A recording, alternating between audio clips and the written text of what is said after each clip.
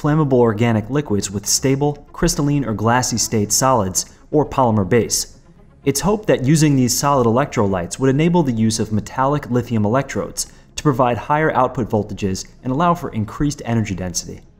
Additionally, battery safety improves in vehicle crashes and becomes more resistant to overheating and short circuiting, in part due to physical blocking of the dendritic growth of lithium and other electrode materials which currently plague lithium batteries.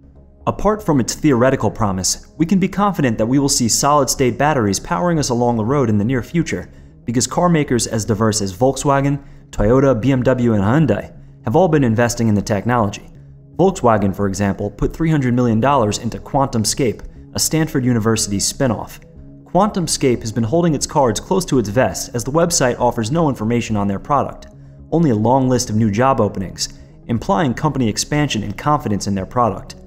It's notable that they hold patents on sulfide based lithium ion technology and seem to be interested in thin, sintered ceramic films and lithium impregnated garnet. One of the difficulties in solid state electrolyte design is dealing with the expansion of electrodes, which is more difficult to manage in solid materials. A solid electrolyte must be sufficiently flexible to permit this, yet also tough enough to resist dendrite penetration. QuantumScape hold a patent for composite electrolytes to allow them to customize and adjust the physical properties of their electrolytes for such conflicting requirements. Panasonic have also been looking into solid-state electrolytes.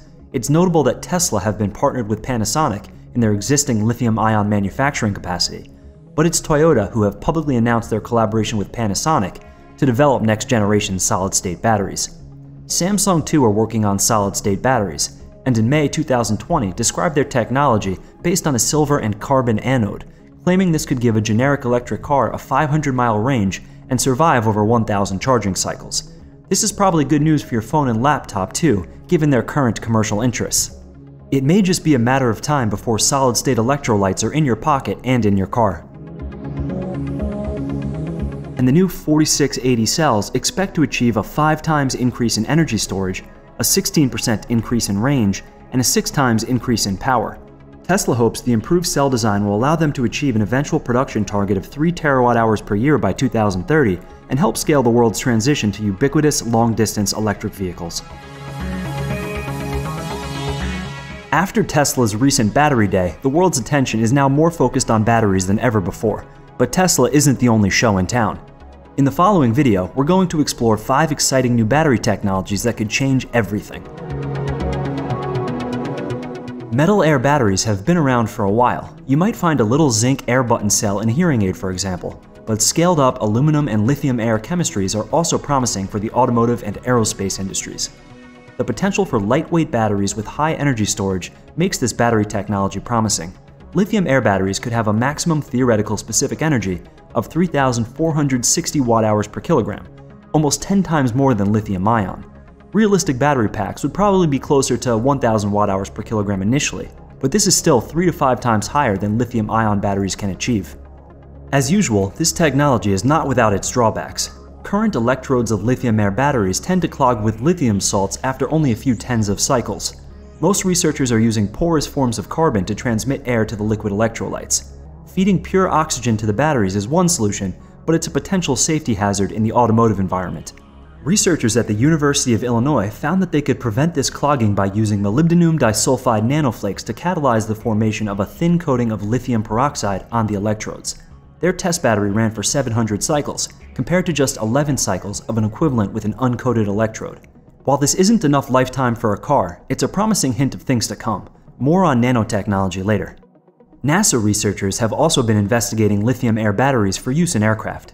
They believe that once their research cell is optimized, they should be looking at around 800 to 900 watt hours per kilogram, powerful enough to reach the high power requirements of takeoff.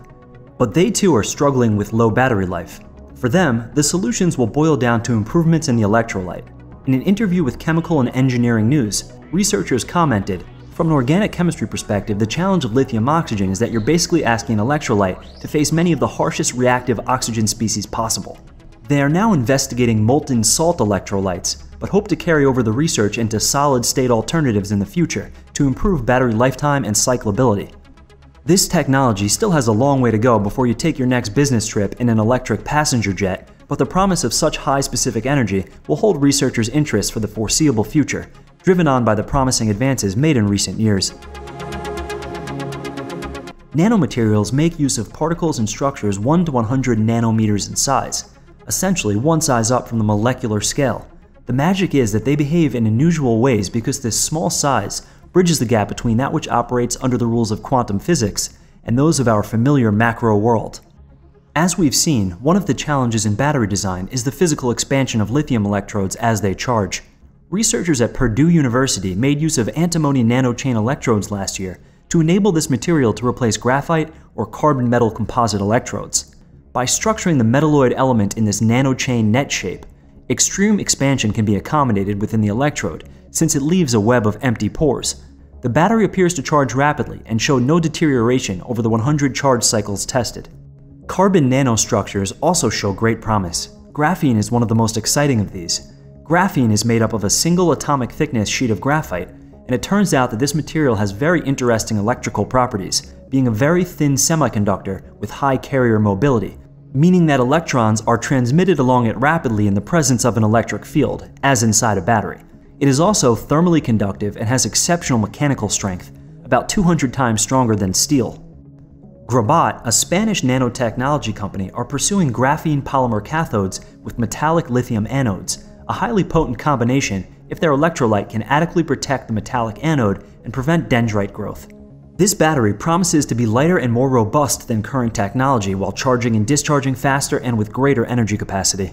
Samsung have patented a technology they call graphene balls. These are silicon oxide nanoparticles which are coated with graphene sheets that resemble popcorn. These are used as the cathode as well as being applied in a protective layer on the anode. The researchers found increases in the volumetric density of a full cell of 27.6%, compared to an uncoated equivalent, and the experimental cell retains almost 80% capacity after 500 cycles. Additionally, charging is accelerated and temperature control is improved. NanoGraf, meanwhile, are using graphene sheets to produce carbon-silicon batteries to increase stored energy by 30%. Amprius goes one stage further with their anodes of 100% silicon nanowire.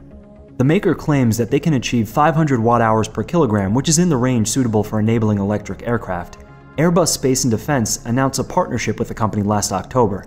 The silicon nanowires are attached to a thin foil by vapor deposition in a continuous roll-roll production process, helping keep manufacturing costs down.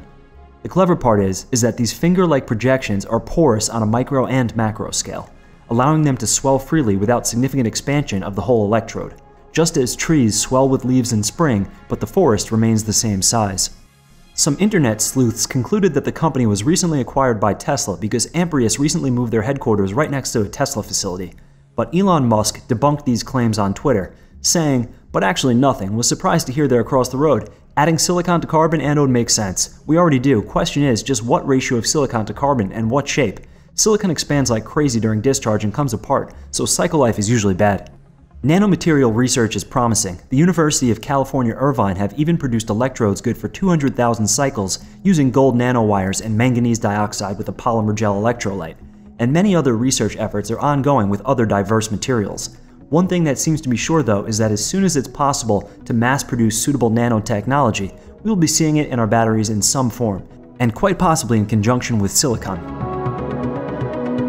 Lithium-sulfur batteries are one emerging technology that can offer greatly improved energy densities compared to lithium-ion. The theoretical maximum specific energy of this chemistry is 2,567 watt-hours per kilogram, compared to lithium-ion's 350 watt-hours per kilogram maximum. This is a huge improvement. A lithium-sulfur battery could be up to 7.5 times lighter than its current equivalent. Right now, lithium-sulfur batteries are nowhere near their theoretical limit, but the ALISE, a pan-European collaboration, are working towards attaining a stable automotive battery of 500 watt-hours per kilogram based on this technology.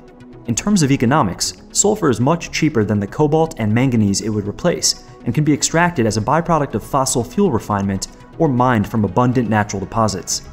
Existing lithium-ion batteries are made up of an anode and a cathode between which a liquid electrolyte allows dissolved lithium ions to travel. Lithium-sulfur batteries are constructed similarly, except that the active element in the cathode is sulfur, while the anode remains lithium-based. Researchers are facing a few challenges in bringing this technology to market. Firstly, sulfur is a poor conductor of electricity. Typically, the sulfur atoms are embedded within the matrix of carbon atoms in graphite, an excellent electrical conductor. This arrangement is vulnerable to a process known as shuttling, which causes batteries to drain when not in use, while also corroding metallic lithium anodes, reducing capacity as the battery is cycled. Next, and most significantly, the electrodes physically swell up as the lithium ions bond to them. This is more dramatic with lithium-sulfur than existing chemistries, the sulfur cathode expanding and contracting by as much as 78% as the battery cycles, or 8 times more than cathodes typically used in lithium-ion batteries. As might be expected from this kind of repeated strain, polymer or carbon-based supports and binders fragment and can disintegrate as the battery cycles, reducing capacity and performance. One approach to solving this is to bind the cathodes with different polymers and to reduce their thickness so that the absolute change in dimension is not so extreme. Many lithium-based batteries also must deal with dendritic growth, thin fingers of metal which grow away from the surface and can eventually reach across to the cathode, creating a short circuit and rapid discharge. This is the same thermal runaway malfunction which has caused lithium-ion battery fires in the past, so research for coping with this effect can be carried over to lithium-sulfur technology, including exciting uses of graphene and other nanostructures to act as scaffolds for the deposition of lithium. Solid-state electrolytes could also offer solutions to these issues. Lithium-sulfur batteries are not just ivory tower ideas. Airbus Defence and Space flew a 350 watt-hour per kilogram battery made by Sion Energy back in 2014 powering their Zephyr high-altitude pseudo-satellite. Researchers at Monash University in Australia announced in 2020 that they anticipate having a product ready for commercialization in two to four years which could provide electric cars with a 621 mile range.